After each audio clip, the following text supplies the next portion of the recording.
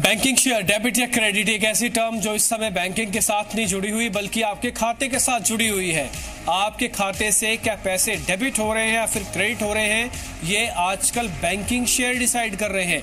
तो इसलिए बैंकिंग को ही लेकर आज हमने स्पेशल करने का मन रखा और साथ ही साथ तो उम्मीद ये भी करते हैं क्योंकि 33 परसेंट मार्केट में वेटेज अगर है तो फाइनेंशियल शेयर्स की है, उसमें बैंकिंग और एनबीएफसी दोनों शामिल होते हैं। इस 33 परसेंट के शेयर के साथ कहीं भी कुछ छोटा फटक होएगी तो पूरा बाज़ार उसके साथ ही चलता हुआ आपको दिखेगा। तो इसलिए बैंकिंग शेयर पे आज हमारी खास पेशकश में आपका स्वागत है। मैं हूँ डिम्पी कालरा। मेरे साथ मेरे सहयोगी अंचल भी हैं। सबसे पहले अंचल के पास ही चलेंगे और सारी रूपरेखा मैं आपके सामने रखता चलूँगा कि कौन कौन से शेयर हम डिस्कस करेंगे। इसमें सरकारी गैर सरकारी बैंकों का पूरा ब्यौरा होगा आपके सामने। गौरांग शाह हमारे साथ होंगे, संजीव बसीन हमारे साथ होंगे, बैंकिंग एक्सपर्ट हिमेंद्र हजारी भी हमारे साथ होंगे। इन तीनों से आपके सामने व्यू भी रखेंगे। न केवल जानकारी, बल्कि ट्रेडिंग कॉल्स में भी कन्वर्ट करेंगे। छोटी, बड़ी अवधि सबके लिए। लेकिन पहले बैंकिंग की प्रॉब्लम क्या है? क्यों बैंकिंग इस जगह पर आके खड़ा हुआ है कि हमको आधे घंटे के स्पेशल के साथ ये समझाना पड़ रहा है कि बैंकिंग एक डेबिट है या एक्चुअली में क्रेडिट होने का मौका दे रहा है। तो पहले अंचल से ये समझते बैंकिंग की प्रॉब्लम क्या अंचल बताएँ आप। बैंकिंग की प्रॉब्लम डिम्पी बहुत बेसिक है और काफ़ी समय से चल रही है। एनपीए ये मैनेज नहीं हो पा रहे हैं और ऊपर से आरबीआई ने जिस तरह से और कड़ा कड़े कदम उठाए हैं स्ट्रिक्टनेस बढ़ा दी है। तो जो एनपीए हैं, ये छोटी अवधि में आपको और बढ़ते हुए दिखेंगे। और ये सबसे बड़ा चैलेंज होगा किस तरह से इन एनपीए को टैकल किया जाए रिकवरी किस तरह से बढ़ाई जाए। दूसरा बड़ा मुद्दा अभी हाल ही में आके खड़ा हो गया बैंकिंग के सामने, वो है पीएनबी में ग्यारह हज़ार पाँच सौ करोड़ का फ्रॉड और अभी ये फ्रॉड 11,500 करोड़ तक ही रुकेगा या इससे बढ़ जाएगा वो भी नहीं पता। किन किन बैंकों पर ये इम्पैक्ट डालेगा वो अभी क्लियर नहीं है सिर्फ़ छः बैंकों के नाम आए तो ये फ्रॉड जैसे जैसे बढ़ेगा ये इशू और ज़्यादा क्रिएट कर लेगा बैंकिंग स्पेस के लिए। तीसरा बड़ा मुद्दा है सभी बैंकों के इस बारी के नंबर्स अगर आप सरकारी बैंकों के नंबर्स इस बारी देखेंगे डिब्बी इनकरेजिंग नंबर्स नहीं दिए अगर आपको अगर बैंकों में मुनाफा आया भी है तो दूसरी ओर एसेट क्वालिटी बहुत ज़्यादा वीक हो गई है। प्रोविजनिंग बहुत ज़्यादा बढ़ गई है। तो ये चार बेसिक दिक्कतें हैं इस समय बैंकिंग के लिए जो शॉर्ट टर्म में ही नहीं एक लॉन्गर टर्म इम्पैक्ट डाल सकती है अक्रॉस द स्पेस ठीक है तो यहाँ पे बैंकिंग सेक्टर की बेसिक बेसिक मुश्किलें आपके सामने रखती है। हम शो को बहुत आसान भाषा में, आसान तरीके से आपके सामने रखने की कोशिश कर रहे हैं, ताकि आप न केवल इस बैंकिंग के बारे में थोड़ी जानकारी से अपडेटेड हो जाएँ, बल्कि इसमें कैसे सौदे खड़े करने हैं हैं तो कैसे मैनेज करना है, ये आपके सामने पूरा हम ब्यौरा रख रहे हैं। मेरे साथ दो मेहमान हैं, संजीव भसीन फ़ोन लाइन से जुड़ चुके हैं, साथ ही गौरांग शाह भी हैं। हम दोनों से हम बातचीत करके जानेंगे अब के पहले सौदे। लेकिन ठीक उससे पहले, शुरुआत करते हैं देश के सबसे बड़े सरकारी बैंक यानी कि एसबीआई के साथ। एसबीआई की पहले जरा यथास्थिति देखिए। क्या उसकी बैलेंस शीट कहती है? क्या उसके लिए अहम ट्रिगर है? उसके बाद एसबीआई पे आपको ट्रेडिंग कॉल भी मिल जाएगी। एसबीआई का इस समय की सिचुएशन ये कहती है कि एसबीआई इस समय घाटा करीब 2416 करोड़ रुपए का दर्ज करता है।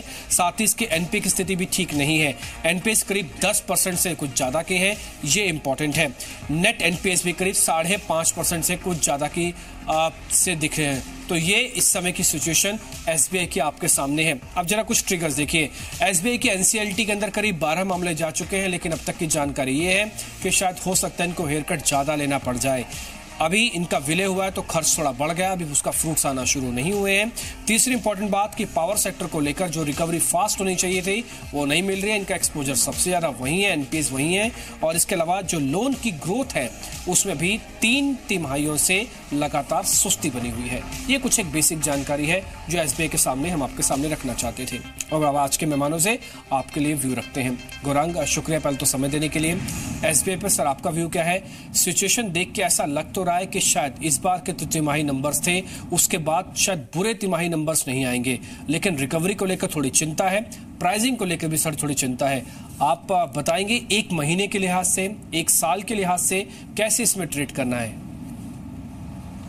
देखिए एक महीने एक साल तो नहीं समय अगर आप निवेशित हैं या निवेश करना चाहते हैं तो आपका आपकी जो समय सीमा है वो करीबन डेढ़ दो साल या उससे अधिक हो तो ज़्यादा उचित होगा पहली बात। दूसरी बात हम्म। अगर आपके पास जोखिम झेलने की क्षमता ऊपर की तरफ़ है तब जाकर के सरकारी बैंक में निवेश करें। अन्यथा निजी बैंक मेरे ख्याल से काफ़ी बेहतर है।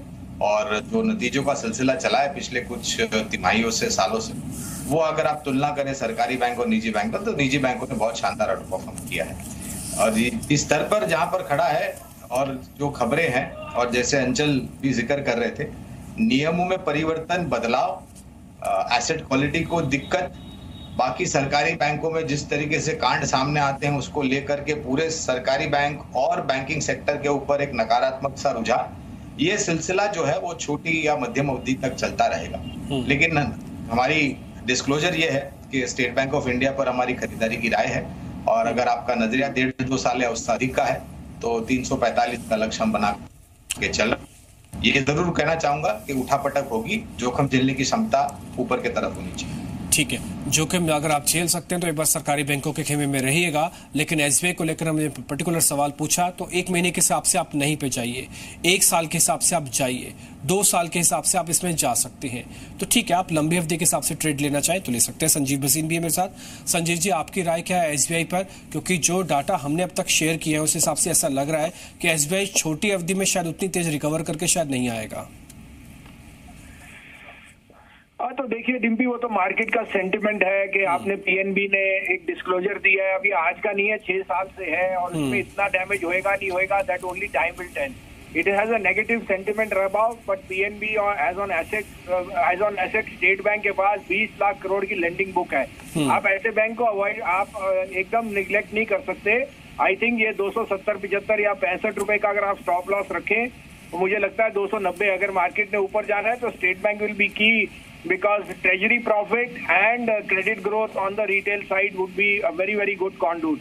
साथ में ये जो एक नया जो फेयर आया है I think it's more noise इतनी ज़्यादा डिस्ट्रेस uh, नहीं होएगा। It will be you know it will be encapsulated in a smaller loss than that is being made out so I would say fear is a good time to buy अगर आप में है क्षमता थोड़ा सा risk reward लेने की तो State Bank would be a top pick ठीक है, दोनों मेहमानों ने मत तो किया है कि आप बाय तो कर सकते हैं, लेकिन थोड़ा सा इस चीज़ के साथ कि थोड़ा सा जोखिम है, आप उसको ज़रूर मैनेज कर लीजिएगा। अगर हो जाता है तो आपको अच्छा रिटर्न देगा। एक साल, दो साल, और संजीव तो ये भी कह रहे हैं कि अगर एक महीने के हिसाब से भी आप व्यू रखना चाहें तो थोड़ा ही गोता लगेगा, लेकिन ये अच्छी अपॉर्चुनिटी होगा बाय करने का। तो फेयर में खरीदारी बनती है, ये संजीव जी की रिकमेंडेशन भी है। अब आते हैं देश के दूसरे सबसे बड़े बैंक यानी कि पीएनबी के बारे में।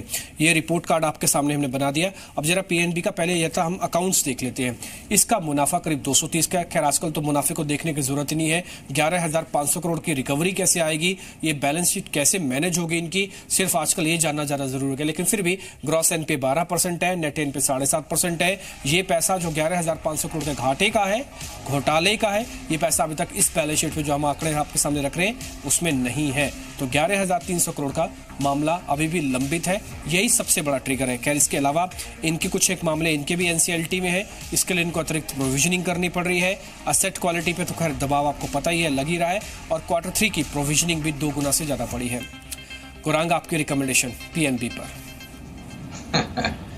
सूरत हाल में तो मेरे ख्याल से जोखिम बहुत ही ऊपर की तरफ़ है दिप्पी दूसरी बात ये जो पूरी तहकीकात होगी और क्या उभर करके आएगा उस पर कोई टिप्पणी हम अभी नहीं कर सकते हैं कि क्योंकि ये मैटर ऑफ़ इन्वेस्टिगेशन डिस्क्लोजर ये देना चाहूँगा कि PNB Bank of India Corporation Bank Oriental Bank of Commerce ये सब सरकारी बैंकों पर हमारी काफ़ी लंबे समय से डेढ़ दो साल से बिकवाली की राय है हम्म। और खास करके पीएनबी के ऊपर मेरे ख्याल से जब तक ये क्लैरिटी नहीं आती कि ये मसला कैसे सुलझेगा अनिश्चितता के वातावरण बिल्कुल मंडराते रहेंगे।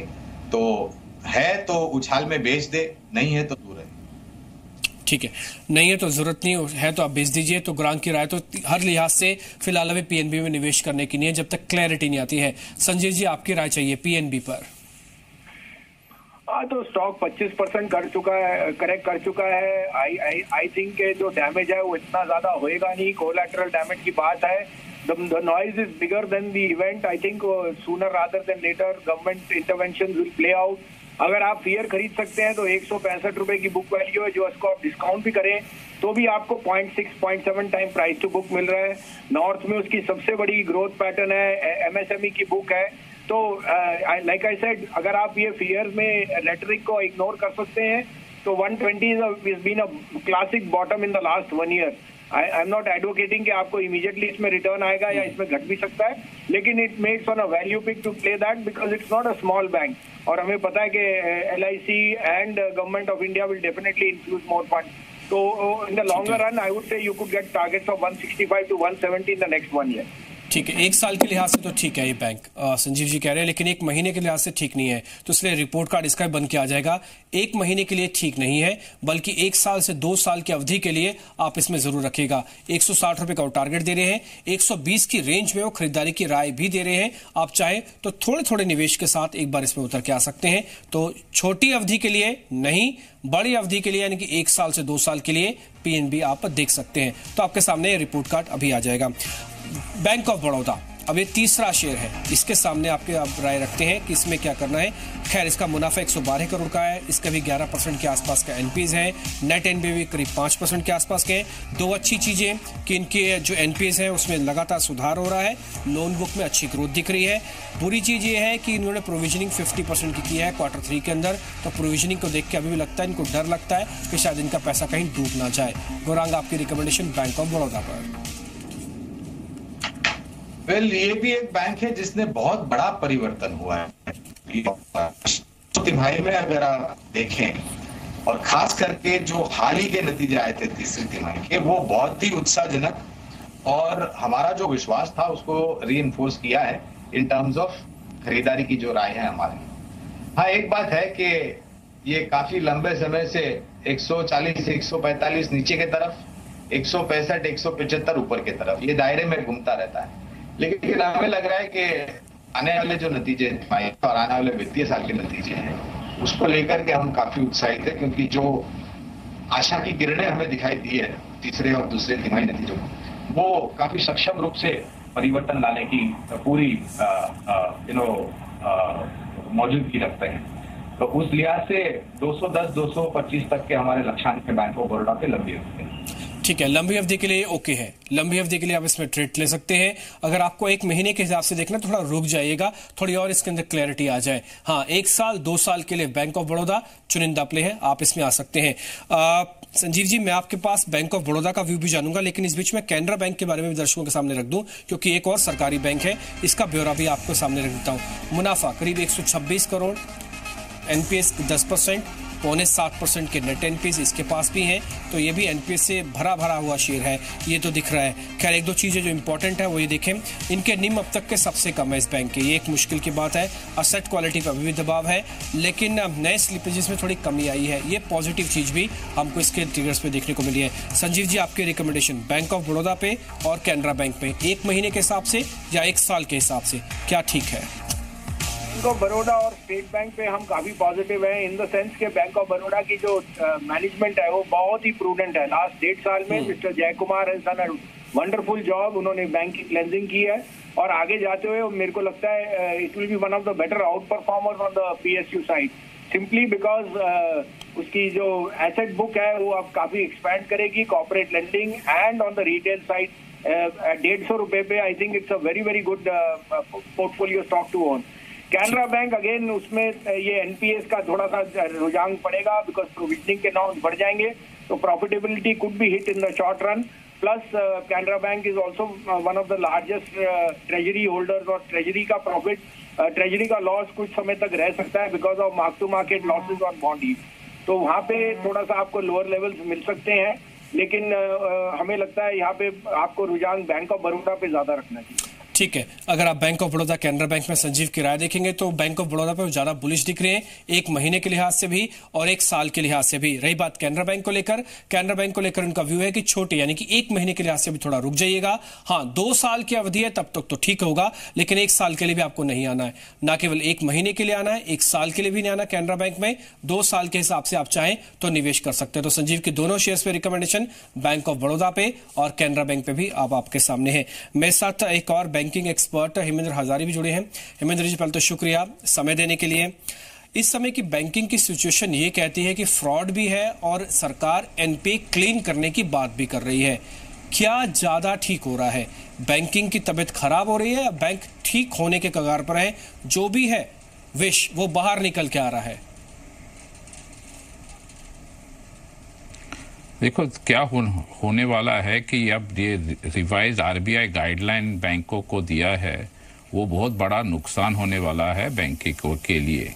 क्योंकि उनका सब रिस्ट्रक्चर स्टैंडर्ड लोन्स उनका सब ये ऑल वो स्कीम्स थे वो सब एनपीए बन जाएँगे और वो एनपीए भी बन जाएँगे और वो फिर ये आईबीसी को जाएँगे। आईबीसी में पहले साल में ही कुछ 50 परसेंट प्रोविजनिंग भरना पड़ेगा। ना अभी भी बैंक्स का सब लॉसेस है वो पुराने एनपीए के लिए प्रोविजनिंग कर रहे हैं डेप्रीसिएशन ऑफ़ इन्वेस्टमेंट्स के करते हैं और अभी फ्रॉड भी होने लगा है। ना उसके ज़्यादा इससे अभी बहुत बड़ा बैड डेट प्रोविजनिंग आने वाला है और ये सब कॉरपोरेट बुक का है। तो एक साल डेढ़ साल मुझे ऐसा लगता है कि बहुत प्रेशर हो, हो, होने वाला है ये बैंक्स अर्निंग्स में।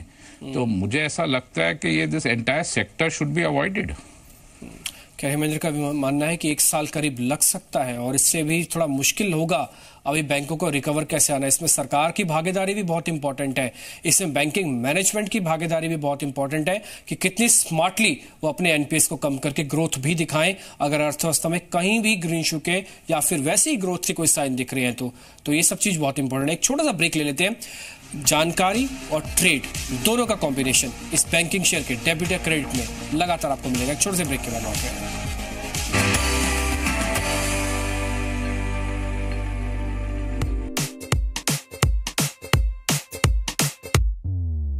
सुनो सुनो तो अपने दिल की सुनो सुनो तो अपने दिल की। सुनो तो अपने दिल की लक्स कोजी